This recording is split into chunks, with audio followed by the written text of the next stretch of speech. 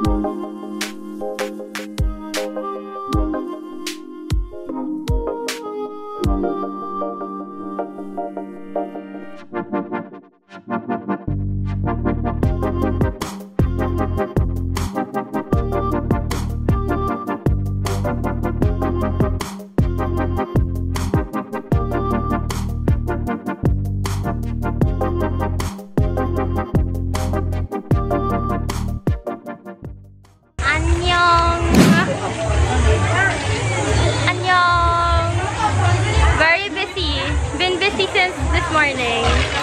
Ang hirap pala magbenta. But here's Lara's booth and Ian's.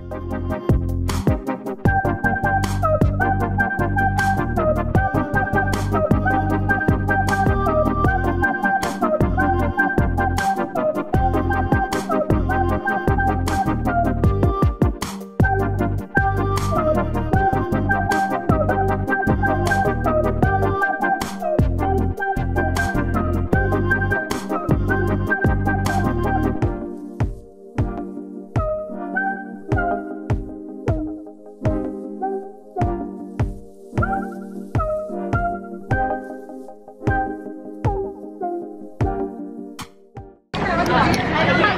I'm with Lara. And we've been here since 6 a.m. She has an Instagram account. So scan this QR code right here. From her. She also does commission art, so you know, slide into her DM.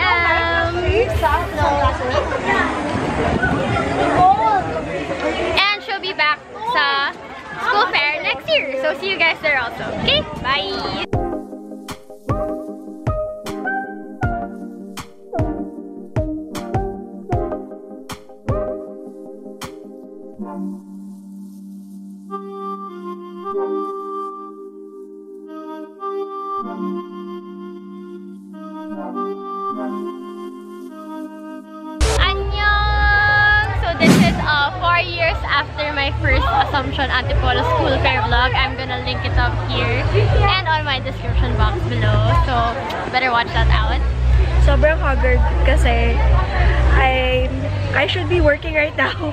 As in work ka? As in work, work.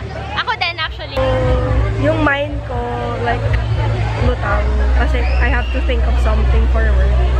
Same time, sobrang dami din kids na, they're kids. Like, Since kids. as in, sobrang layo na ng agwat. Parang, it's a fun realization.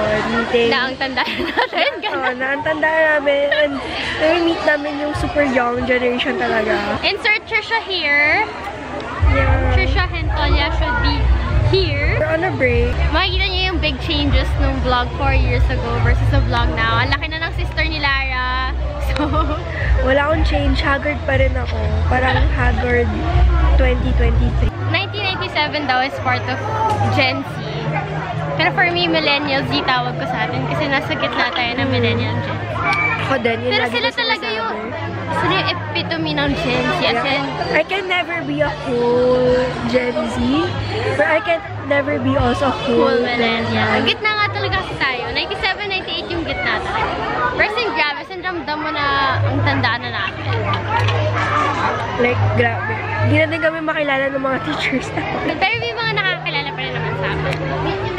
Pero iba, iba talaga yung feeling. So this is the tita portion of this vlog. Mag-rides ba kami mamaya? Mga gabi na, kasi ang init eh. Yeah, super init. Pero nandito kami. Yeah, this is the view. Ito yung sinasabi kong beach. As Nasa beach kami four years ago na vlog. As in, makikita niyo yun. Same Short hair pa ako. chair. Same chair. Kasi magbenta in fairness. Sobrang katawa kasi ang daming nakakagusto ng aesthetic ni Lara sa stickers niya. Thank you. Pero kasi kid Siya ka. po, no, my God, napapagod ako magbukas ng bola. Yung, hi, do you wanna play ko. gotcha Sobrang Sila na. Mm, yun lang yung mahirap din sa gachapon, pero super fun. Kasi, first na naglalaro. So, Yeah. yeah. Tomorrow, we're gonna be here with our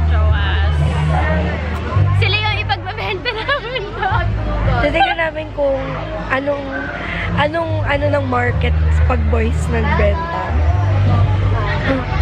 Social experiment pala. feeling ko yung walang lalapit. May, may intimidate sila with the boys.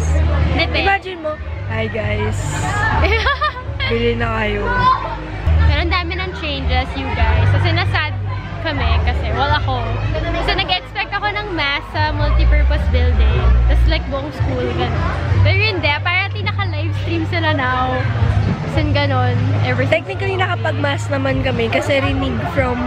Rinig lang natin yung song, sis. Oh, rinig, oh, rinig lang namin yung song. Pero kasi, since very iconic yung mga mass songs namin dito, alam namin lyric by lyric. Yung lahat ng kinanta nila. So, nakikanta na lang kami from afar.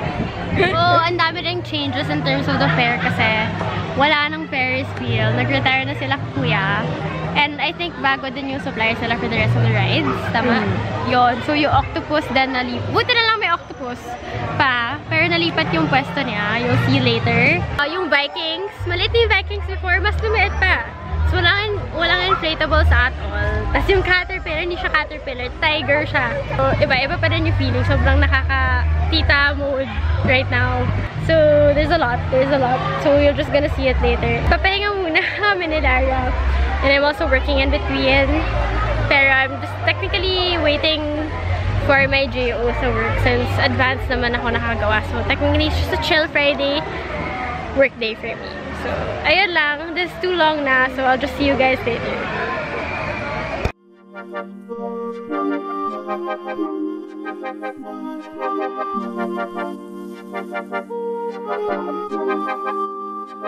Hello! So, haggard na ang lola nyo.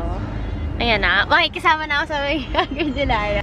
So, ayan. Haggard na ang mga tita ng 2015.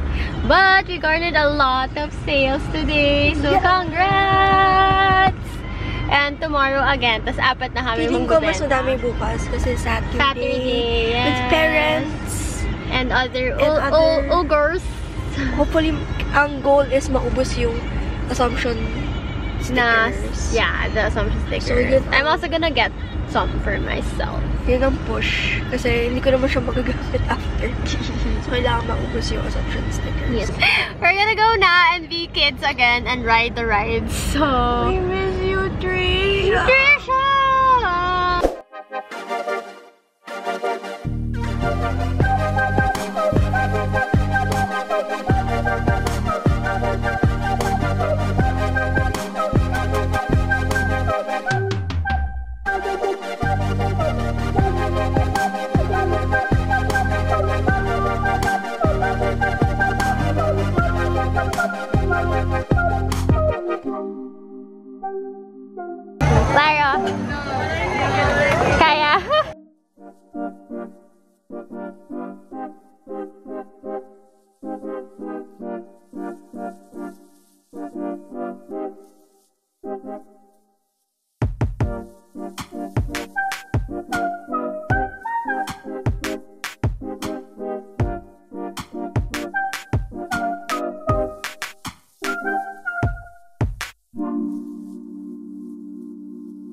First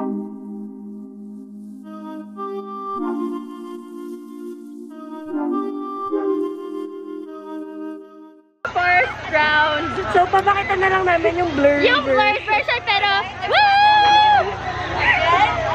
Medyo, medyo nagulat kasi ako. Nakakasakay lang namin. Tapos biglang, oh my God. Grabe. Pero hindi siya nakakahilo. Medyo hindi, na ano lang yung chan ko. Alam mo yung pag, pag, pag sa ano, ano yun sa road? Yung maiwan yung chan mo hump or something. Ganon. Pero, tapos sobrang bilis niya, hindi ka may hilo. Ewan ko kasi, inaasikaso ko yung camera kanina. So, nung naayos ko na, medyo, tapos tapos na yung ride. So, parang, ano nangyari? Pero nagka-abs ako sa kakasigaw. Lalo na siya. Seryoso ka, kasi nakaka-shock siya. Hindi siya yung parang gradual, parang biglang ganon. Kasi sobrang bilis. Hindi ko naramdaman. Oof, Pero sobrang suma- bilis, hindi ko naramdaman. Pero sumisigaw naman ako. Pero ngayon ko lang na parang, ah, We ano love na the yun? Trillo, but mamaya ulit. Taringan muna mga lola.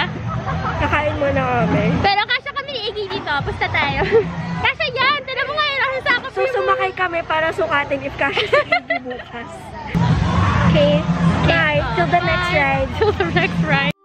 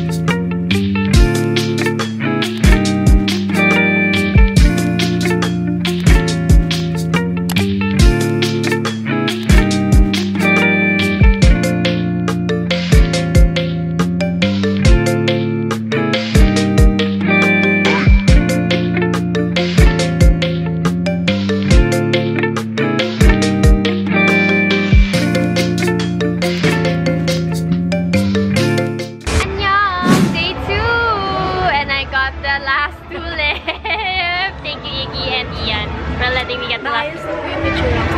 Yes! Well, ready na kami maging kids kasi nasakay na kami ng maraming rides. Kasi yesterday, isa lang nasakyan namin. Pero, I think kasi madami din tao yesterday. Kaya, okay lang na haggard ako kahapon. Ngayon, re- ready Medyo na siya mag lang ano, na. happy-happy today. But we're still gonna be here till 6 p.m. So, ito yung booth ni Lara. So, kamusta ang experience? Um, every time naman na nag-fair sa AA, parang maganda talaga yung um, parang traction ng mga audience ko dito. Because I think, ano siya, all girls, medyo girly yung style ko. And factor din na old girl ako here. So, ayun, I always enjoy boozing here sa AA.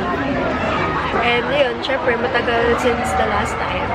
And the last time, wala din akong.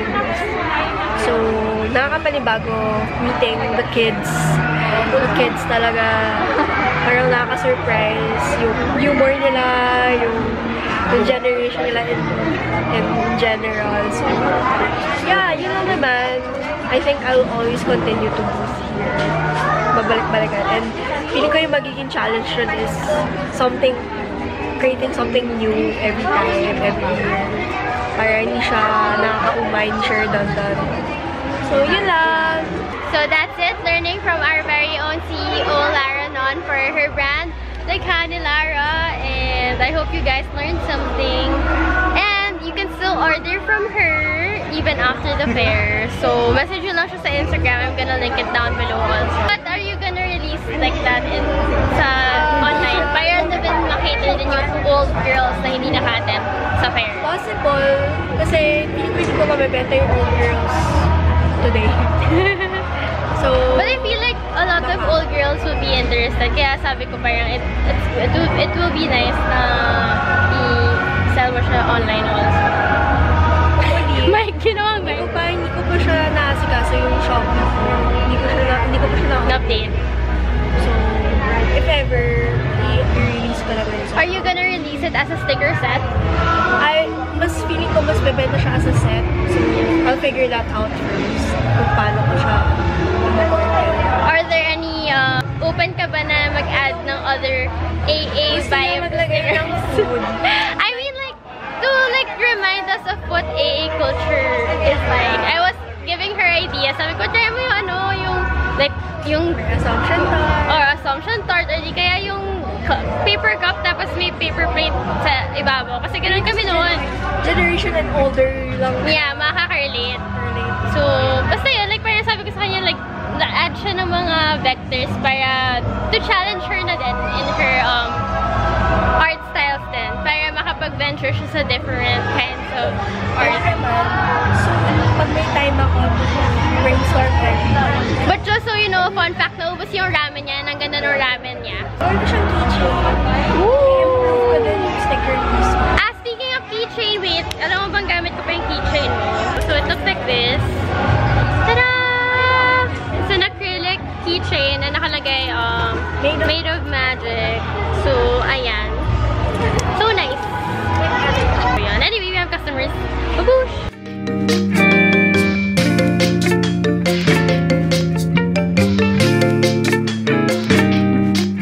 Ay, musta kayo mga, ano, mga kagachapon? Steady ka lang! Ha? Hindi, gumagalaw. Gulot ng vlog mo eh! Siyempre. Uh, musta kayo mga kagachapon? So, uh, sasakay tayo ngayon sa mga maraming tentacles. Ano nga ba? Ang gulo mo mag-vlog. Steady ka lang. Ulit. Uh, musta kayo mga kagachapon? Day 3. Ayan, so... Ah. Kita na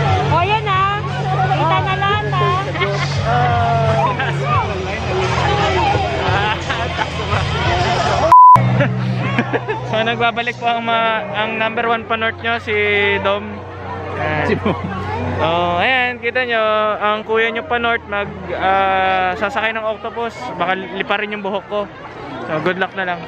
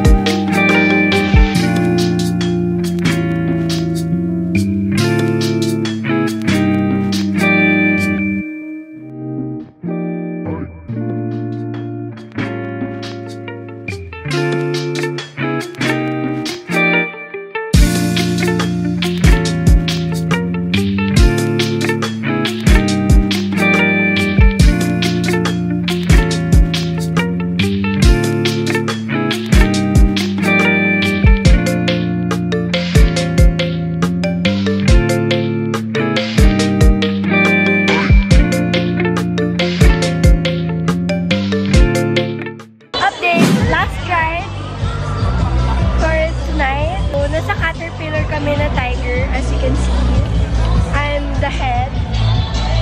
Si Jelly yung buntot. And then the boys are the other end. So far, super liit ng Vikings. Hindi kami kasha. Buti nagkasha yung boys. Ako, personally, hindi ako nagkasha. Like, it was tight fit. Ganun.